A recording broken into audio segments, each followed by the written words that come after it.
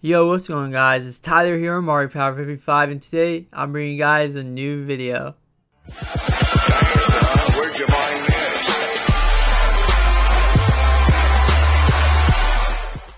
Today I want to show you guys how to make a custom Mario Kart Wii BRSTM. And so what a BRSTM is, the song file in Mario Kart Wii, or any Wii game. And so BRSTM plays on like all the Mario Kart tracks.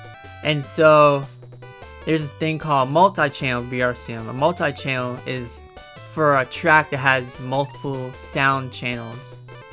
Like Wario's Gold Mine, Toad's Factory.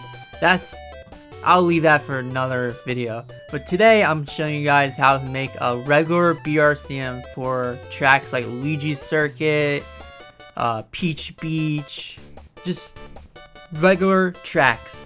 And uh, I should say that there's only multi-channel BRSTMs in the Wii tracks, not the retros. So all the retros are normal, regular BRSTM. Anyway, to start out, you need a few files to make a BRSTM. You need a music editing program and you can use like Adobe Audition. That's what a lot of people use. But what I use is Audacity. Audacity is free and in my opinion the best uh, music editing program out there. So you have that Audacity. You have your MP3 file. Go on a YouTube MP3 converter website and download a YouTube video. That's what I usually do. So I picked the Devoted from Super Smash Bros. Ultimate and Fire Emblem. So that's the song I chose. And now you need Brawlbox. Brawlbox pretty much helps you convert the, the WAV file that you export from Audacity because Brawlbox can only read WAV files. And then you have your RevoKart. BRSAR, which you will need later is important. You need to patch your Revo kart. And so you need to get patch that BRSAR and I can ex explain that like when time comes, you know? So you need these later, but you can get your Revo kart from the internet or your Mario Kart Wii ISO. If you don't have a Mario Kart Wii ISO, you can just download one from the internet. Anyway, now let's move on and start making the BRSTM. First you go to Audacity full screen it open. You open up your your mp3 file. Open that up. And now in audacity well you have to raise the volume. You uh, click right there to select the whole song. You raise your volume. And why the reason why you raise the volume of each song that you choose is because in each track Mario Kart Wii track there's ambient noises hazards and yeah, pretty much. And so those noises overpower the song. So you need to overpower the song so you can actually hear your BRSTM. So since this song is already pretty loud to begin with, you don't need to uh, make it that loud. So I made it 4.1. So loud clipping, hit OK. So after you raise the volume, you go to export audio. For this tutorial, I'm just going to export to my desktop, but usually you like to go organize your files a little bit more and make like a song folder and all that. You can do that on your own time. But anyway, for this tutorial, I want to just export to the desktop. So let's you name it the same thing, but a shorter version. So I'm just going to say uh, devoted because it's you know the Fire Emblem music. So you hit OK. Now what I like to do is that was for the laps 1 and 2. And so now you need to make a final lap. So the final lap is the same song, but faster. So you select the song, effect, and go to change tempo. I like to keep it at 25. So this song is much faster and you can obviously tell it's lap 3.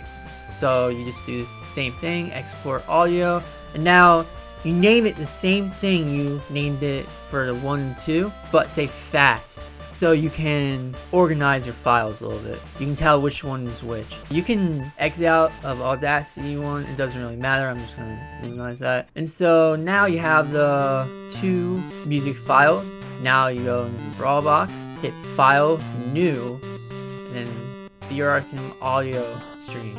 And you find lap 1 2. Open that. You hit loop. Make sure you always hit loop. Looping the music is really, really important. So if you don't loop the track, the music will cut off after the song. So you hit enable looping. Hit OK. Now it's making the BRSTM. Here's your BRSTM. I hit loop again to make sure. Hit file, save as. Because if you, if you just exit out of Brawlbox, nothing will actually happen. So you save as, name it as devoted, and then right here, click this drop menu and go to BRSTM audio. So now it's a BRSTM file. So this is why I like, when I name a song, you need to actually go name it the BRSTM file for the track. So I picked N64 Bowser's Castle. I usually go to this website right here, MK Boards, and I go to this thread. Uh, all you have to do is type in SZS file list, and this should be the top website. Anyway, go down to music. So this is all the BRSTM files in the game. Uh, you go down to N64 Bowser's Castle right here. Uh, see how the name is R underscore 64 underscore Koopa 32 underscore N. So you have that copy. Now you go to this, hit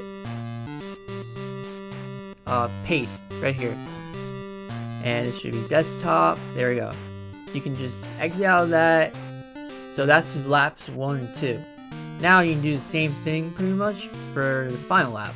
Hit this, Brawlbox, File, New, BRSTM audio stream. This is when naming it fast comes in play. So you can tell which one is which. So click this, hit loop again, hit OK, hit loop again, file, save as, and you should just be able to say paste and have the same thing, but instead of N, you hit F for final lap. So yeah, you change that to BRSTM. Now it's BRSTM file. Hit save. And there you go. You have your two BRSTM files. This one obviously is for laps 1 and 2, and this one the final lap. Because N and F. Now, what I want to do next is raise the volume even more. And I like to do this just to double check. A lot of people don't actually know that you can actually do this. So you go to Brawlbox again and you can raise the volume level in Brawlbox. So now you go open and you open the Revo kart. So you have all the sounds in the game. Go to STRM for all the track names. Alright, here we go. Um, let me find, okay, retro right here, 64. Go to Koopa. And now you have the normal and final lap. And you see the volume right here is 103. So with Audacity, you, you raise the volume, and sometimes that's not enough to overpower the ambient noises in the track. So you can max it out by saying 255. That's overkill, but it usually works out. And since this song is a pretty decently loud song to begin with, pretty much in Mario Kart Wii, as loud as possible is the best. So it's as loud as possible without it sounding really bad. So it's clear, should be really clear, crisp. And now you go to the final lap, 255 again. And that's all you need to do to raise the volume of each track in the game. So file, save, of course. Yeah, save. Now bring up your SD card. Uh, I have mine right here. Let's go to the root. Okay, so and I'm using Custom Track Grand Prix. Hit Custom Track Grand Prix. My Stuff. This is your My Stuff folder. Your My Stuff folder is where you put all your BRSTMs, SZS files, and all that. So you put them all right here. And on Custom Track Grand Prix, you can go to Settings and Enable My Stuff. Anyway, you take these two files, you put them right here, and you take the Revo kart, you put them right here. That might take a little bit. So now you have the Revo kart right here and the BRSTM files that you need for the game. Alright, so now you patch the BRSAR by dragging this over patch that BRSAR. Successfully patch 111 BRSTM entries. Now each song should be looping the game. So yeah, that's pretty much it. You go to your Wii and test out the song. Usually, if you don't raise the volume in Brawlbox, you need to keep on going back and forth, back and forth, making all the songs as loud as possible. If you make each song in the game to volume 255, it should not matter. The song should be perfect. So now let's go with my Wii.